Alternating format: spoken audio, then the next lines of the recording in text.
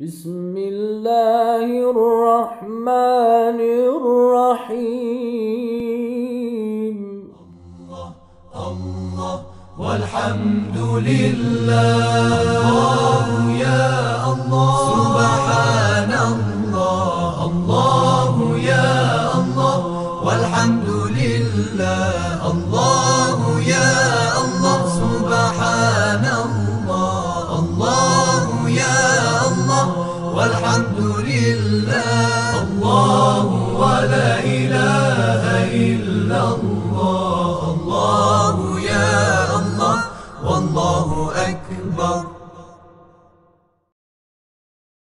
بسم الله الرحمن الرحيم.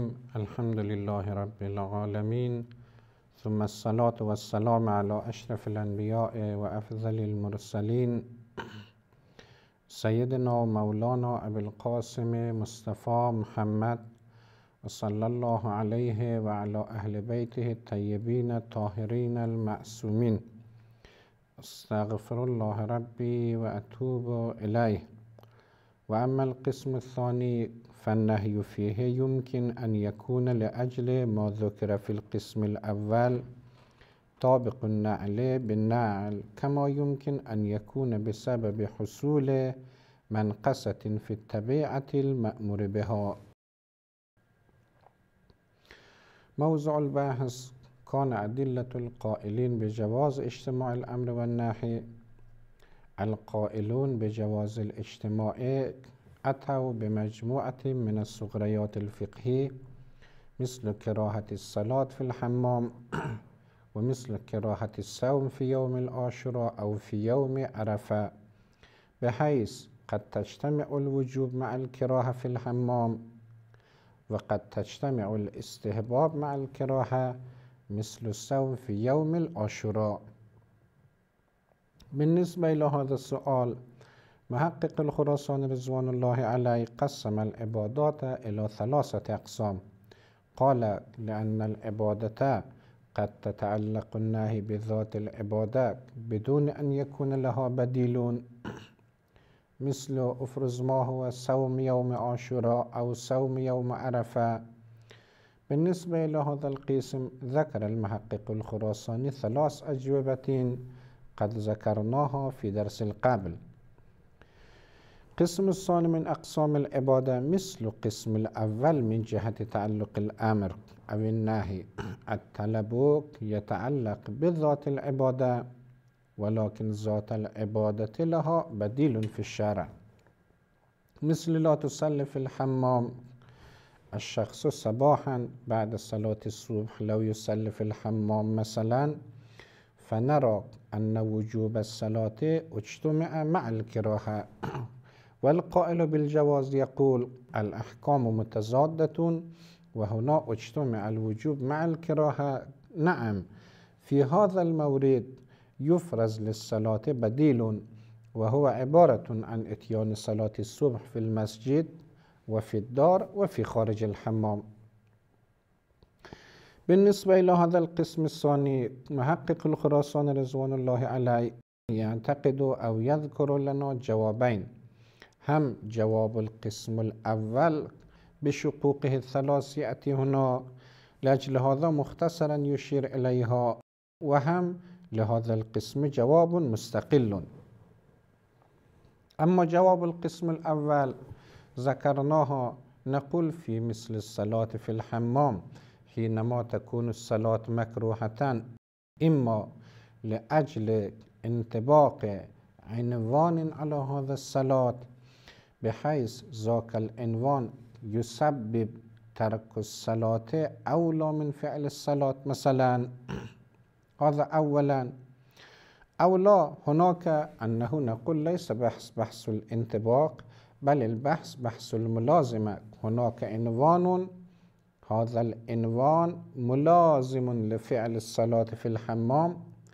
لأجل هذا العنوان نحن نقول ترك الصلاة يكون أولى في الحمام وفعل الصلاة يكون مكروها. هذا الجواب الثاني. جواب الثالث. في الحقيقة هذه الأجوبة كانت في القسم الأول من العبادات. نقول لا أصلا هذا المورد من موارد الإرشاد. حينما يقول لا تصلي في الحمام أو اترك الصلاة في الحمام هذا الطلب يكون طلبا إرشاديا. الله سبحانه وتعالى يرشد العبد إلى الأفضل الأفراد وأنه لو تصلي في خارج الحمام في الدار أو في المسجد صوابك يكون أكثر ونفعك يكون أكثر. فلا يكون هذا النهي مولويا حتى يتصور اجتماع الأمر والنهي أو يتصور اجتماع الكراهة مع الوجوب. محقق الخراساني يقول هذه الأجوبة الثلاث طابق النعل بالنعل يعني مئة بالمئة يمكن الاستناد بها في جواب القسم الثاني من العبادات أيضا. ولكن مع هذا لهذا القسم أي القسم الثاني يكون جوابا مستقلا أيضا. هذا الجواب في الحقيقة محوره أو مركز الجواب هو الفعل يكون. بينما بالنسبة إلى القسم الأول المحور هو كان ترك الصوم مثلا.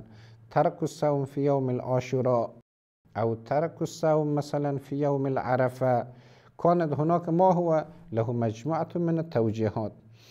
هنا نقول الفعل يعني فعل الصلاة في الحمام له خصوصيات. خصوصيات كيف؟ نقول الصلاة بعض الأوقات ثوابها أو درجة فضلها درجة متوسطة درجة العام مثل الصلاة في الدار الشخصي. بعض الأوقات هذه الصلاة درجتها أكثر من المتعارف كالصلاة في المسجد. وبعض الأوقات الصلاة درجتها أقل من المتعارف أيضا. يعني فرد الذي نأتي به بالنسبة إلى متعارف أفراد الطبيعة ثوابه ونفعه أقل من المتعارف. كالصلاة في الحمام نقول هذا الفرد ثوابه حتى أدنى من المتعارف ولا يكون بمقدار الصلاة في البيت أيضا. في الحقيقة هذا الجواب يريد أن يقول أن فعلك للصلاة في الحمام أو صلاتك في الحمام هذا الفعل لا يكون حظه بمقدار المتعارف أيضا. فيرشدك إلى الفرد المتعارف وأنه بإمكانك الصلاة في الدار أو فوق المتعارف بإمكانك أن تصلي في أين؟ في المسجد مثلا. ففي النتيجة ما هو؟ اترك الصلاة في الحمام أو لا تصلي في الحمام هذا الطلب. سواء كان في قالب الأمر أو كان في قالب النهي يكون إرشاديا. وطبعا اجتماع الإرشاد مع الوجوب. اجتماع النهي الكراهتي الإرشادي مع الوجوب الإرشادي يكون بمكان من الإمكان ولا يوجد فيه أي مشكلة. هذا الجواب هو الجواب للقسم الثاني ويكون جوابا مستقلا. وفي الحقيقة ما هو؟ بواسطة هذا الجواب نكمل البحث في القسم الثاني. فقد هناك إشكال على هذا الجواب سنذكره إن شاء الله.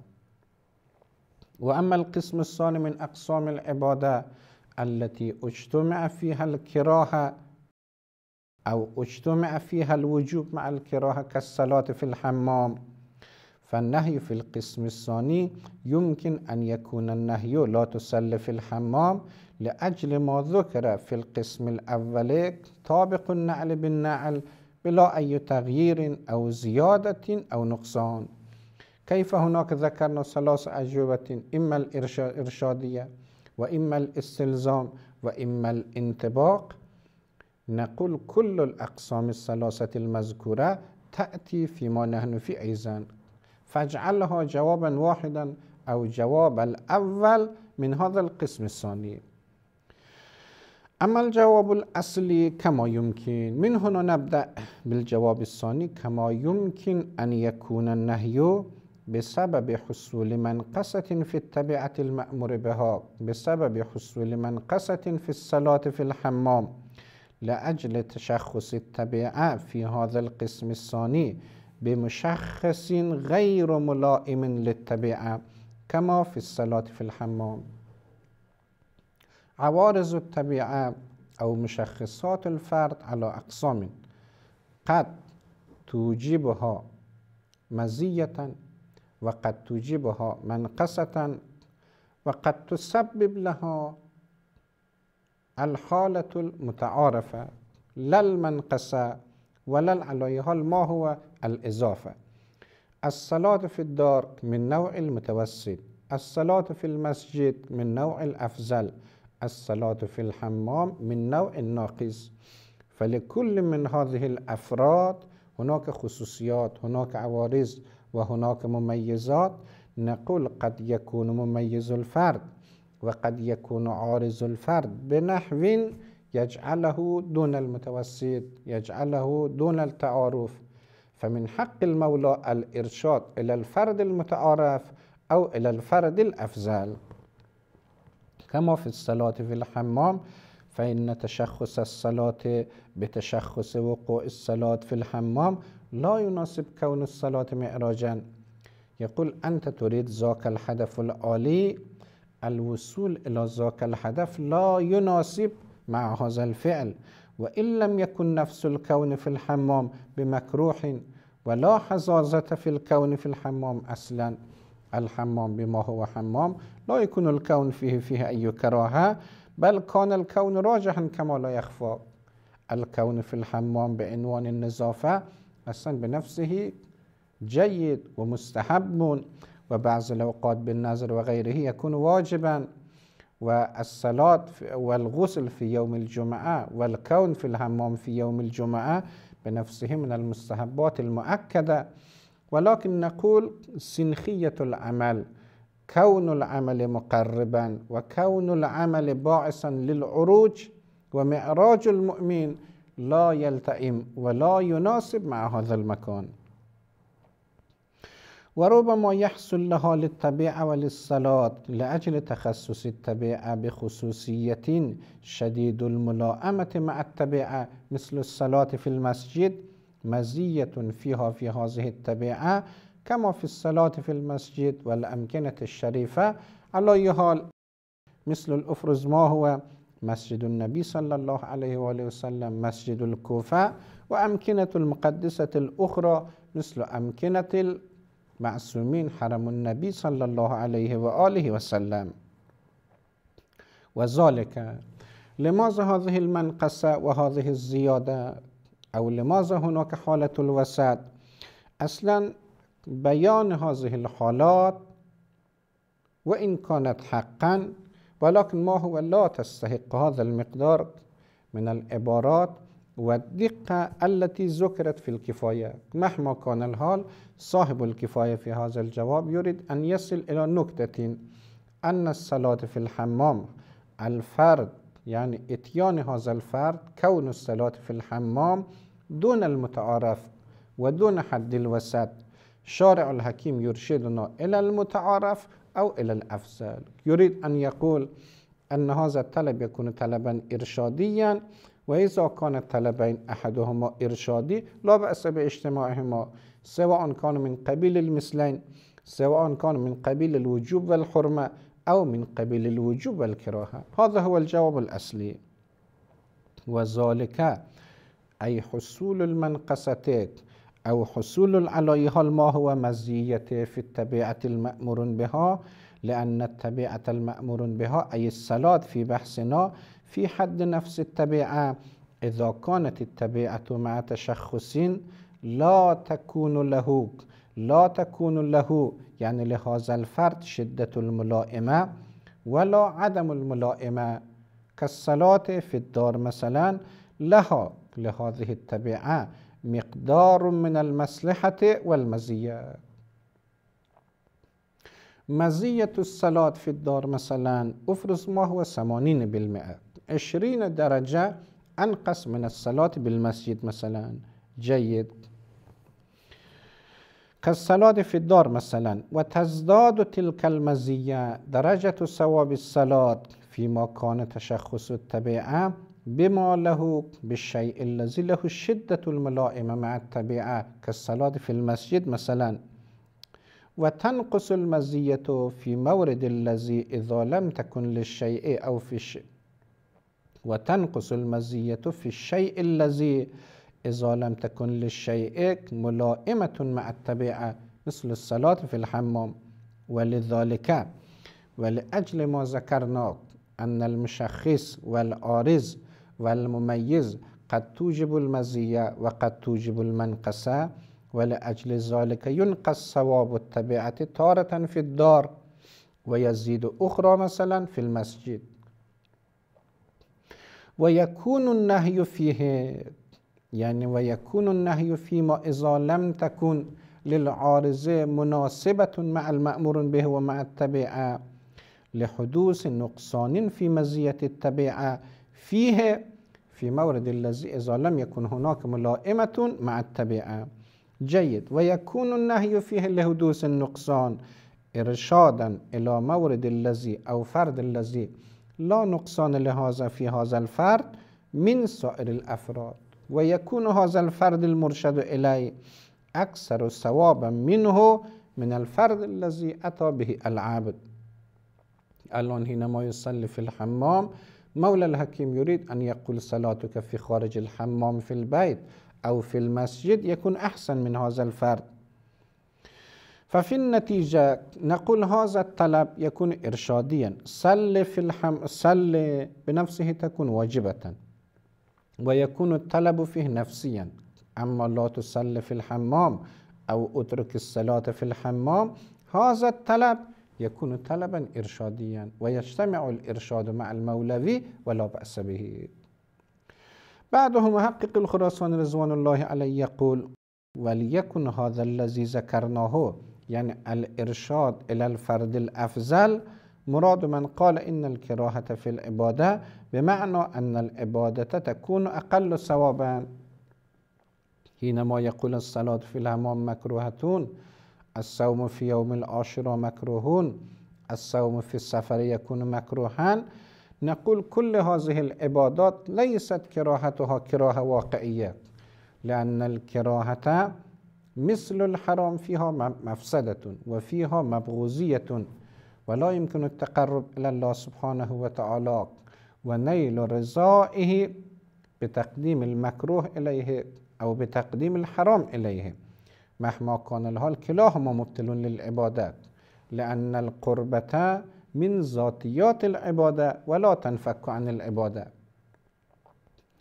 لأجل هذا مرادهم أن هذا العمل ثوابه يكون أقل من عمل آخر. هذا الفرد الصوم في السفر الصوم في يوم العرفة الصوم مؤدر في يوم العاشوراء ثوابه أقل. من الصوم الذي تأتي به في غير هذه الأيام والحالات والمناسبات. هذا هو المراد. ففي النتيجة بالنسبة إلى القسم الثاني فتأمل جيدا له بديل بما أنه له بديلون فيمكن كونه ماذا؟ إرشاديا. أما في القسم الأول الصوم في يوم العرفة لم يكن هناك أي بديل. الصوم في يوم العاشوراء لم يكن له بديل.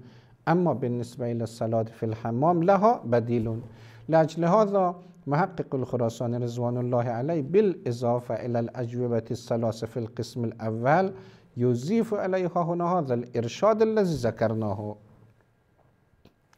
وطبعا الإرشاد الذي مختص بالقسم الثاني منشأه يختلف عن الإرشاد الذي طرحناه في القسم الأول بعنوان جواب الثالث لماذا؟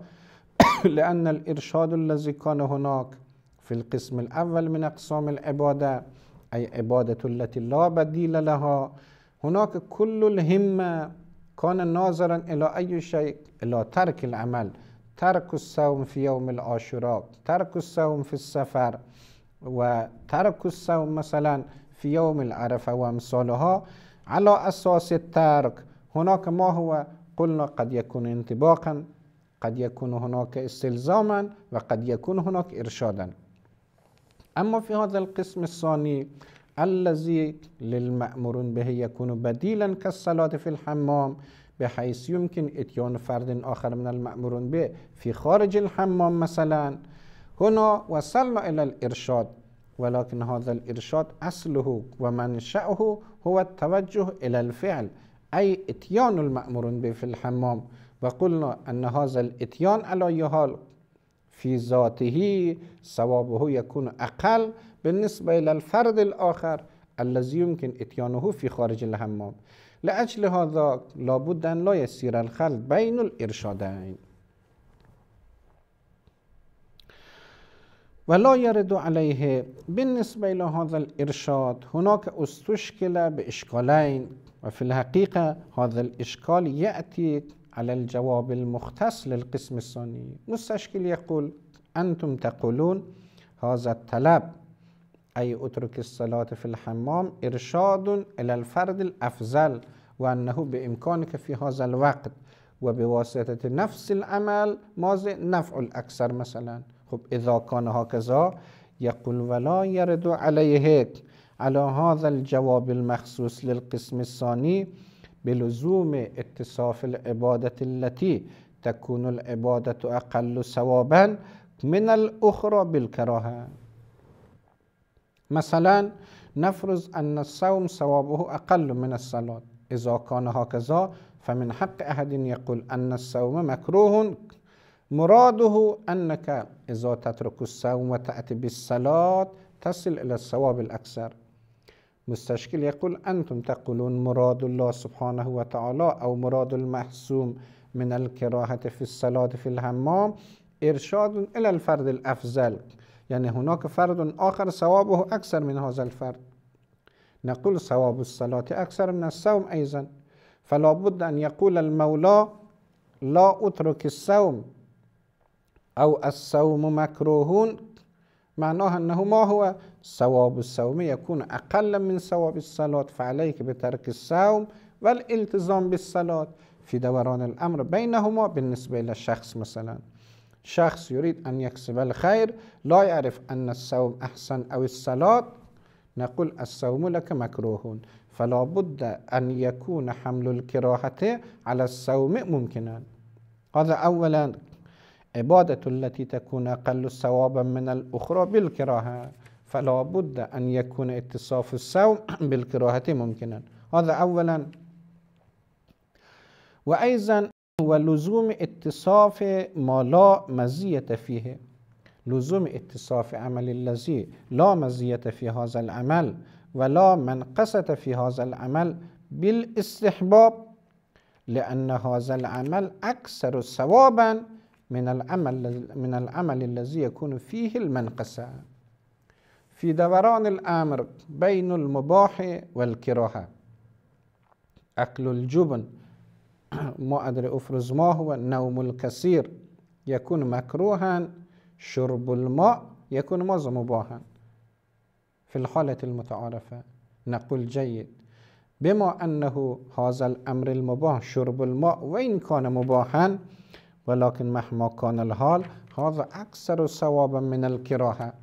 يعني أكثر ثوابا من ارتكاب المكروه مثل نوم الكثير وأكل الكثير. فلا بد أن نقول أن شرب الماء مستحب إذا سألني لماذا وصفته بالاستحباب من أين هذا جاء؟ نقول لرجحانه على ذاك المكروه. والحال أنه كلاهما لا يكون صحيحا. ولزوم اتصاف ما لا مزية فيه ولا منقصة بالاستحباب أمر المباح نجعله مستحبا لأن المباح أكثر ثوابا مما فيه المنقص أي المكروه. ففي النتيجة لابد أن نقول أن الصوم مكروه. هذا إشكال الأول. لابد أن نقول أن المباح مستحب شرب الماء مستحب. هذا هو الإشكال الثاني. وهذا الإشكال من أين جاء؟ من إرشاد الذي بنيتموه من ذهابكم إلى الأمر الإرشادي أو النهي الإرشادي الذي ذهبتموه إليه في القسم الثاني.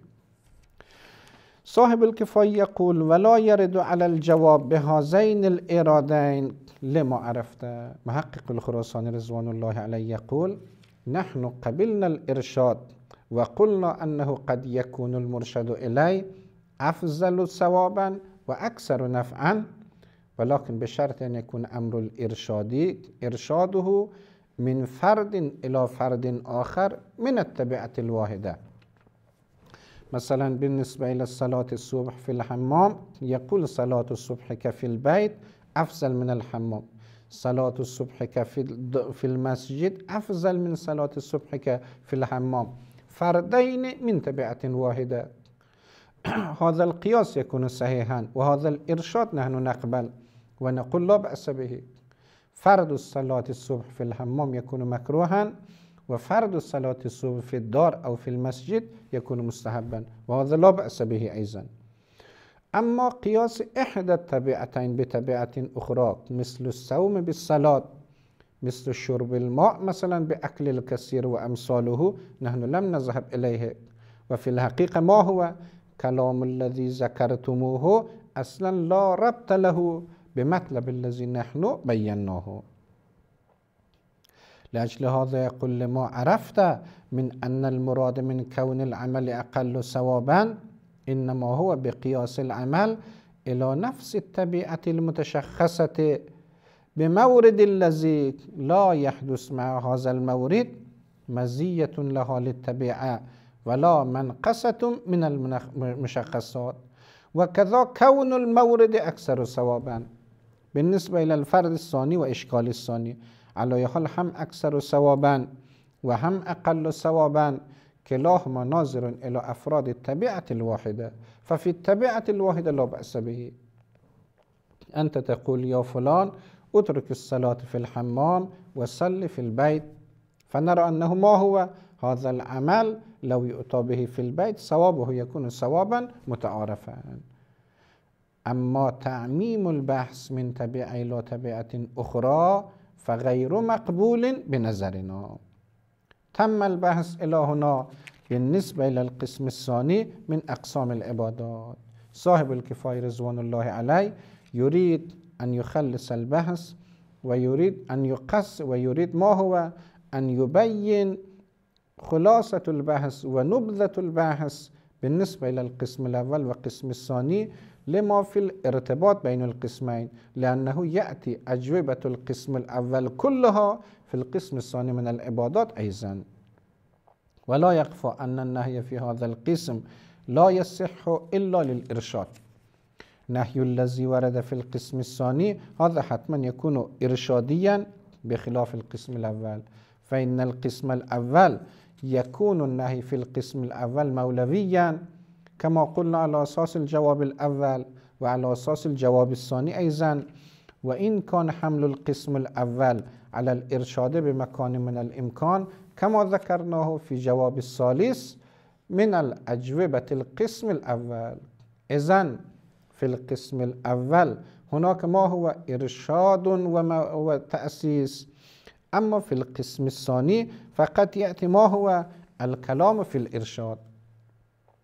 طبعا لعل مراد المصنف رضوان الله عليه أن هذا القسم الثاني ما هو إسناده أو حل الإشكال عن طريق الإرشاد يكون ما هو مناسبا وإلا كما ذكر المصنف في أول القسم الثاني بعنوان الجواب قال كل أجوبة القسم الأول يأتي هنا وعلى أساس الجواب الأول والجواب الثاني من القسم الأول لابد من حمل الطلب على المولوية والتأسيس.